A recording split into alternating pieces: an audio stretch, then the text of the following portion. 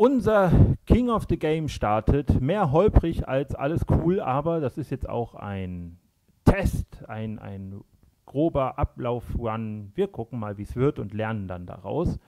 Hier ist erstmal das Intro und danach erkläre ich euch, was wir hier jetzt eigentlich für einen Unsinn machen.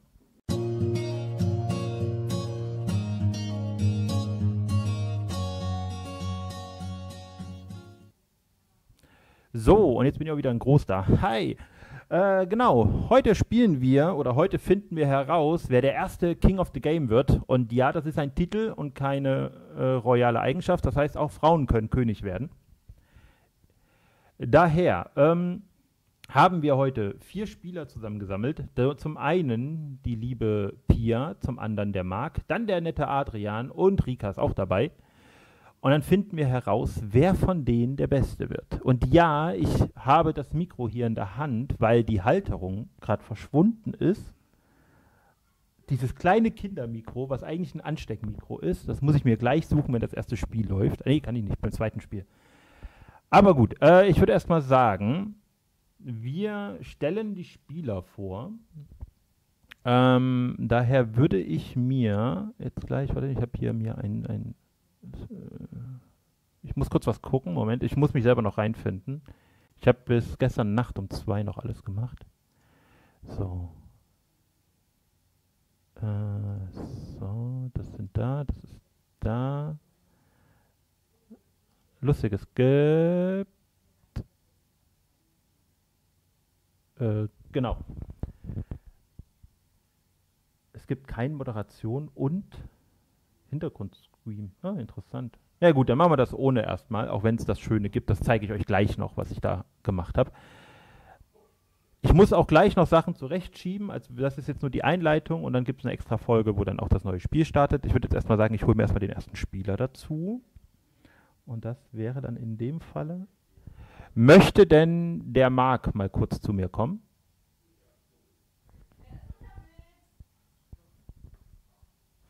Ich habe die Spieler übrigens absichtlich noch alle gemutet. Genau, dann stelle ich hier nämlich mal kurz die Cam um. Sag Übergabe. Und da seht ihr dann den Mark. Ja, du nimmst das Singstar-Mikro. Ist das nicht geil? Warte, ich kann auch so machen. Ich kann auch das nehmen. Du hörst mich ja sowieso. Ja, das stimmt. Perfekt, weil ich höre dich nämlich gerade super. Ich weiß nicht, ob man mich hört. Ich nehme mal beide Mikros. Ah, ich bleib bei meinem. ja, warte, ich rutsche noch mit zur Seite, damit es ein Bild besser ergibt. Genau, das ist unser erster Spieler. Das ist der liebe Marc, den kennt ihr vielleicht von unserer lustigen Karaoke-Sause. Ja, die war grauenvoll. Äh, Habe ich auch im Nachgang gehört, dass die wohl grausam gewesen sein soll. Ich weiß gar nicht, wie die darauf kommen. Verstehe ich auch nicht. Ich habe also auch keine Ahnung. Ich fand's gut. Es hat irgendwo Spaß also, gemacht. ich finde, wir waren super. Ja, auf jeden Fall. Nee, genau. Und äh, du bist dann halt jetzt der erste Teilnehmer, hast dich bereit erklärt, dass wir gefragt haben, hätte jemand Lust mitzumachen? Hast gesagt, ja, komm, ich kann das mal machen. Ja. Hoffst du dir denn irgendwas? Naja, erstmal viel Spaß auf jeden Fall. Ja, das hoffe ich auch. Lustige Zeit. das hoffe ich noch mehr. Ähm, ja, ich trete natürlich an, um zu gewinnen. Das, das freut mich. Also. Was ihr sogar nicht glauben werdet, es gibt sogar einen Pokal. Also es gibt Pokale. Die kann ich gleich mal noch in die Kamera mir halten, damit ihr die mal seht. Fand ich auf jeden Fall auch eine schöne. Also ich wollte, dass es wirklich um was geht. Mich stört nur gerade, dass hier im Bild was angeschnitten ist und das will ich gerade wegmachen. So. Ihr kennt mich ja, ich bin da ganz schlimm. Nee, genau. Äh, aber du hast schon von Computerspielen relativ viel Erfahrung, ne? Ja. Du bist ja, ich würde mal sagen, derjenige, der am meisten Erfahrung hat von dem Trüppchen, was darum geistert. Ja, ja. Also, hab vieles durch die Bank weggespielt. Äh, mhm. Playstation nicht so das Problem. Ja, dachte ich mir. Nicht, ähm, gut, Nintendo und sowas habe ich zwar nie gehabt, aber. Naja, wenn man eine Konsole kann, kann man. Im Normalfall schon. Ja, genau. Deswegen. Man muss sich nur daran erinnern, dass die Knöpfe eine andere Bezeichnung haben, aber das Prinzip ist meistens dasselbe. Wobei mir, bei mir der Gag sogar ist, dass ich die Knöpfe, ich merke mir gar nicht, wo die Knöpfe sind. Ich drücke halt einfach nur immer, es sind ja bei vielen Konsolen eigentlich immer dieselben Buttons, ja, ja. nur weil sie anders bezeichnen. Ja, ja, genau. Deswegen. Nee, okay. Äh, warte, ich kann dir noch was zeigen, das zeige ich gleich noch den Spielern äh, den, den Chat selber, aber ich habe ja eine Vorstellung von euch gebastelt und guck mal. Ha! das seht ihr euch dann auch gleich an. Schokoladenseite getroffen. Warte. Das war das Foto von eurem Pool, Ja, das ja, ich bekommen habe. Ja, ja. Ja, von unserem Pool. Ja, ja, ja. Äh, nee, genau. Ich würde sagen, dann lasse ich dich wieder zu den anderen Jo. und dann kannst du mir gleich die nächste Spielerin, und das wäre dann in dem Falle äh, die liebe Pia, wenn Ja, du mir die mal kurz vorbeibringst. Ich danke Ja, dir. kein Problem. So, das war der Marc. Ich gucke mal währenddessen noch, dass ich noch eine äh, Bildschirmaufnahme. Monitor 1. Ja. Ist das Monitor? Nee, das ist Monitor 2. Na, liebe Pia, warte, es ist gerade noch nichts zu sehen. Du kannst dir dieses Mikro nehmen, dann bist du auch zu hören. Richtige schöne Interviewfunktion. Warte, ich muss nur kurz was, ich muss alles noch grob zusammenbasteln. Ich konnte nicht alles mehr testen und normalerweise bin ich, müsstest du wissen, sehr gerne vorbereitet. Guck mal, so sieht der. Warte, Ich muss das nur größer machen. So. Ich habe euch ja die Spielervorstellungen auch fertig gemacht und habe ja gestern noch die Bilder gemacht. So, genau, perfekt. So, halbwegs. Muss ich gleich noch perfekt ausrichten. Genau, äh, dann blende ich jetzt aber die Pia wieder ein, weil dann seht ihr sie auch. Und bah, guck mal, wer da ist. Da ist die Pia. Huhu. Genau, äh, auch bei dir. Danke erstmal, dass du äh, mitmachst, als wir einfach nur gefragt haben, wer hätte denn Lust, da mal ein bisschen was mitzumachen. Äh, ja, ich sag ja, mir fehlt mein Halteclip. Deswegen halte ich das Mikro die ganze Zeit so. Noch das andere große. Ähm, ich weiß, bin mir nicht ganz sicher, ob das so das Signal überträgt, wie ich es gerne möchte. Äh, sag mal bitte kurz was. Ja, also. Hörst du mich? Ja, du bist sehr leise. Ach so, Ja. ja. du musst es näher an den Mund halten. Tut mir leid. Das ist kein Problem. Okay. Also, äh, du hast dich bereit erklärt, mitzumachen. Ja. Warum? Naja, wir sind ja gerne hier und äh, ich denke, das wird lustig. Denken wir auch, bevor. also ich weiß nicht, aber es ist ja immer witzig. Also ich kann dir sagen, daher. es gibt ein Spiel, da wird Rika richtig laut schreien, weil sie da keine Lust drauf hat. Ähm, aber wie würdest du sagen, deine Spielerfahrung? Oh, ähm, rudimentär. naja, es geht also, ich habe viel am Computer gespielt und weniger mit Konsolen. Mhm. Aber da ich jetzt äh, über 90 Stunden Hogwarts Legacy auf dem Konto habe, komme ich mit dem Controller ganz gut Okay. zurecht. Ja, dann würde man, ich weiß nicht, bist du erfahrener als Rika dann jetzt schon? Oder noch, weil wenn du überlegst, was du noch an Guild Wars reingesteckt hast? Oh ja, Guild Wars habe ich auch. Ich weiß gar nicht, wie viele Stunden. Ja, Ich glaube, du bist dann die, zw- wobei, ich weiß, kann Adria nicht einschätzen. Also Rika hat ja den Vorteil, dass sie hier viele verschiedene Konsolen gespielt hat und viele verschiedene Spiele. Und ich spiele halt immer so Denselben Kram. sehen ja ähnliches, so lieber Open World oder sowas. Mhm. Oder ein bisschen Autorrennkram. Aber ähm, ja. Mal gucken. Ja, mal gucken. so. Äh, was erhoffst du dir? Also erhoffst du dir äh, schon Platz 1 oder sagst du, Mm, ja. Nein. Also ich möchte nicht Vierte werden. aber ich glaube, so schlecht würde ich jetzt auch nicht abschneiden. okay. Also ein bisschen unter dem Radar bleiben. Ja. Mal gucken. Kommt, au kommt auf die Spiele drauf an. Ja, würde ich sagen. Also ich, wie gesagt, es ist alles nicht äh, die schlimmste Welt. Nee, genau, dann bedanke ich mich äh, für das kurze Vorbeikommen und dann würde ich sagen, dann schick mir mal bitte den Adrian vorbei.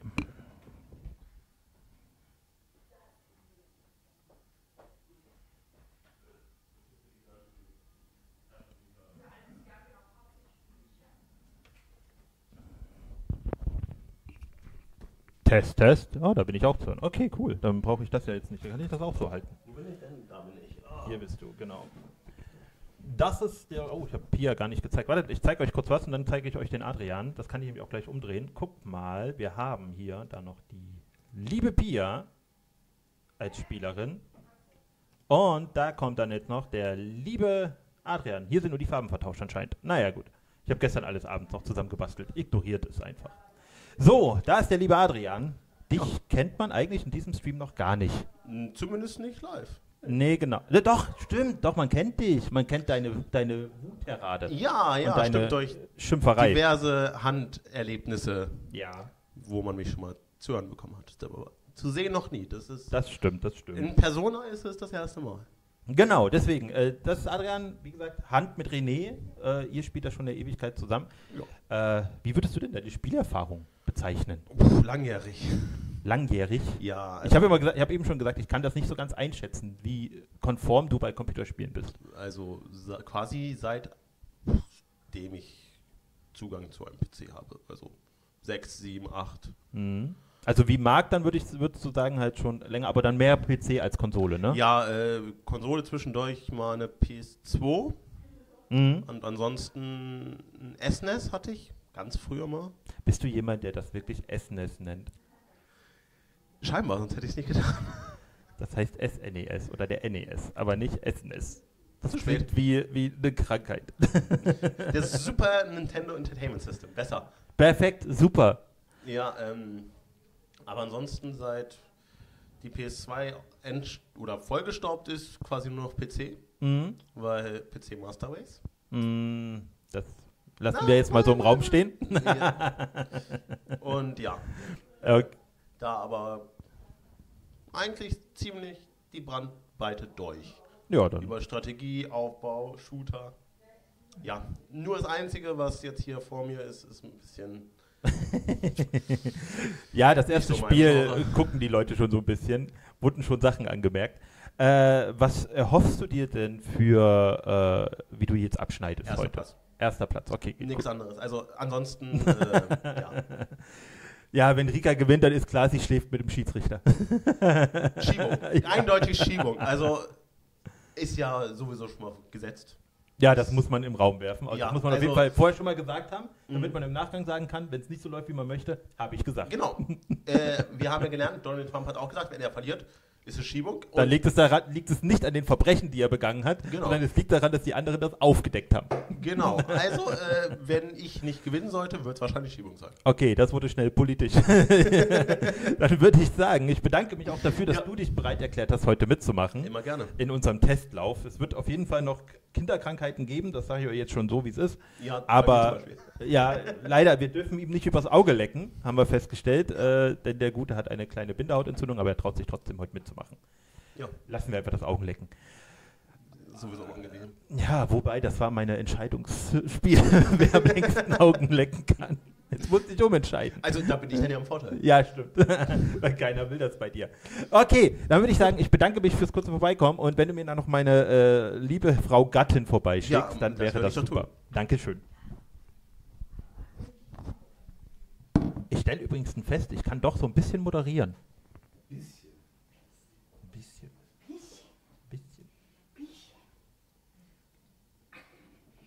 So, du darfst hier dieses Mikro nehmen. So, und damit ich euch noch das letzte zeige, damit ich das auch benutzt habe, seht ihr noch das. Ohne blaue Haare, aber mit blauem Hintergrund. Und wie ihr seht, ist das die liebe Rika. Ja. Genau. Hallo. So, ähm, was soll ich dich denn noch fragen, was man nicht schon weiß? Erstens, ja, ist euch aufgefallen, die haben alle Shirts an. Ja. In den richtigen Farben. Vom Branding mit King of the, äh, King of the Game. Ja. Was sagst du? Jetzt frage ich dich, was schätzt du dir heute ein? Was für eine Rolle? Was für eine Position? Also wie gesagt, wenn damit ich fitter werden muss, damit Adrian nicht gewinnt, mache ich das. Also willst du jetzt andeuten, dass es eine kleine Fehde gibt zwischen Nein. ihr und ihm? Warte mal, Jungs, äh, Mädels, hört ihr das? Perfekt. Okay, weil jetzt hören sie auch unser Interview, fällt mir gerade ein. Äh, also du willst eigentlich nur, dass Adrian nicht Erster wird und würdest dafür den vierten Platz in Kauf nehmen. Hat bestimmt nichts damit zu tun, dass du dich eh schon auf dem vierten gesehen hast. Nein, ich habe mir auch nicht schon meine Medaille für den vierten. Also ich bin sehr realistisch. Ich kämpfe natürlich, ne? Also ich freue mich, wenn ich auch Zweiter oder Dritter werde, aber realistisch betrachtet weiß ich schon, wo mein Treppchen ist. Okay. Aber ich gebe mir natürlich Mühe, dass es vielleicht eine Überraschung geben wird. Aber ähm, Machst du gerade, verkaufst du dich gerade als Underdog und als jemand, der definitiv Vierter wird, um sicher zu gehen, dass ich spiele Doppelspion. Ja. Äh, dann frage ich nicht, mit wem du dich verbündet hast. Ähm, Nein. Du bist ja die Einzige, die so ein bisschen mit in dem ganzen Entwicklungsprozess dabei war, beziehungsweise Ja, ich nebenbei also- mitgekriegt hat, dass ich bis Naja, 10 also Uhr nachts noch muss, gearbeitet Man habe. muss dich ja jetzt auch erstmal loben. Also Jens hat da Wochen äh, der intensiven Arbeit reingesteckt und äh, hier so schön alles aufgebaut. Und drüben, ihr seht das nachher auch, da steckt wirklich so viel Arbeit dahinter. Also jetzt weiß ich in, also für uns ist das ja eigentlich noch relativ klein. Andere Streamer hier, Dr. Freud, Pete Smith und so, die machen das ja im viel größeren Rahmen. Aber es steckt so viel Arbeit dahinter. Und wenn ich als Leon sehe, wie du die Datenbank programmiert hast. Ähm, ja, ich hätte auch einfach Stift und Papier nehmen können. Nein, man muss ihn doch jetzt auch einfach mal loben für seine harte, harte Arbeit. Also die war, die, der hat hier wirklich Stunden, Tage, Wochen dran gesessen. Äh, gestern noch, ich glaube, bis 2 Uhr nachts. Ja. Ja. Na gut, ich habe nebenbei aber auch Final Fantasy VII Rebirth Collectors Edition bestellt. Das war ganz wichtig. Für 370 Euro, meine Damen und Herren, könnt ihr einen Sephiroth inklusive Spiel, inklusive Artbook, inklusive Soundtrack und DLC. Soundtrack und DLC bekommen. Ist ein Schnapper.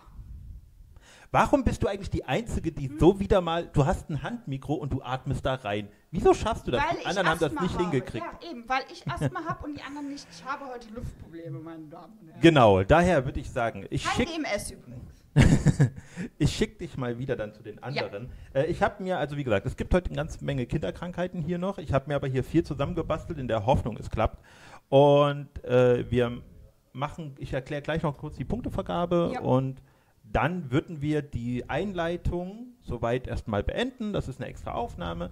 Und dann sorgen wir dafür, dass das erste Spiel dann schnellstmöglich startet. Ich muss nur zwei kleine Sachen noch machen. Aber ich bedanke mich fürs Vorbeikommen. Ich bedanke mich bitte. auch fürs Mitmachen. Du hättest ja auch Nein sagen können. Wobei sehr unvorteilhaft, wenn es auch dein eigener Stream-Channel ist. Ja, und einer muss ja füttern. Ja, und äh, du hättest das Ganze nicht zusammenbauen können, also irgendjemand Nee, muss das nein. machen. Äh, Das daher, nächste Mal spielst du mit und ich moderiere. naja, aber Wenn auch alles andere. schon steht. Ja, genau, also in der dritten Staffel. Wenn wir Glück haben. In der letzten, nein, in der letzten, wir die Besten zusammen. Na, nee, da würde ich, da würd ich dich dich. nicht entscheiden lassen. Naja, ich würde sagen, ähm, dann bedanke ich mich und äh, ja, wir sehen uns dann nachher.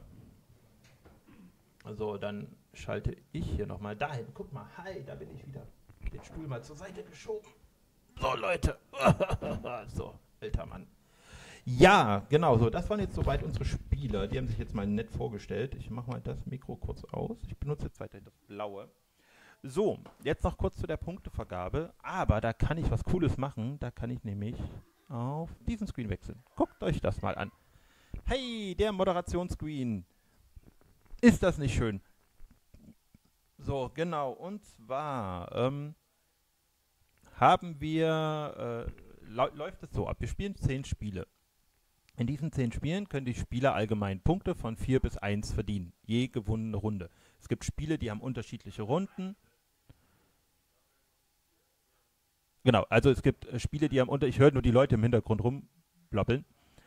Ich habe sie absichtlich noch auf Mute für euch.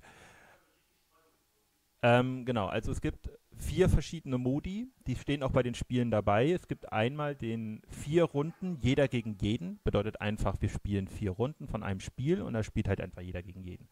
Dann gibt es den Duel-Modus, also den Duelle. Das sind dann jeweils zwei Duelle, da spielen halt alle Spieler mal ungefähr gegeneinander. Das sind, glaube ich, sechs Runden. Da wird es dann äh, von der Punktevergabe so aussehen, dass es halt immer 2 und 1 gibt. Äh, bei den Vierer-Spielen, wo dann halt alle Viere spielen, gibt es halt 4, 3, 2, 1, je nach Punktestand oder nach Rang, den sie verdient haben. Äh, dann gibt es noch den Modus Turnier. Das bedeutet, äh, es spielen zuerst zwei, dann spielen andere zwei und am Ende spielen dann in der dritten Runde die beiden Verlierer gegeneinander und in der vierten Runde die beiden Gewinner. Das ist da das Ziel. Da gibt es dann auch wieder 2 und 1 Punkte, beziehungsweise bei den Gewinnern gibt es dann 4 und 3 Punkte, damit das sich auf jeden Fall abhebt. Ähm, genau, und der letzte Modus. Was hat Standby? Ah, okay. Ja, nicht schlimm. Ähm, genau, und der letzte Modus, der noch, der noch existiert, das ist eine komplette Einzelrunde. Das heißt, alle Spieler spielen eine einzige Runde gegeneinander. Da wird es dann auch wieder die Punktevergabe von 4, 3, 2, 1 geben. Warum nicht 3, 2, 1, 0? Weil alle darauf bestanden haben, noch einen Gnadenpunkt zu bekommen, wenn sie auch verlieren. Das ist halt wie so die Teilnehmerurkunde bei Kindern, in, bei den Bundesjugendspielen. Äh, es ist einfach, damit die Kinder sich auch glücklich fühlen. Mir war es egal. Daher würde ich sagen, ähm, lustig, der Text vom Chat ist schwarz auf grau. Das ist sehr klug. Vielleicht kriege ich das noch geändert. Äh, ja, genau, das war das soweit. Und ich würde jetzt sagen, Im Hintergrund werde ich jetzt gleich noch alles äh, anschließen für das erste Spiel und vorbereiten und muss noch kurz die Cams einstellen. Das mache ich dann auch im Stream, nur nicht im Video. Und dann legen wir direkt los mit dem ersten Spiel. Und ähm, das zeige ich den Spielern aber direkt am Anfang des nächsten Videos. Also, bis dann, auf Wiedersehen und ciao.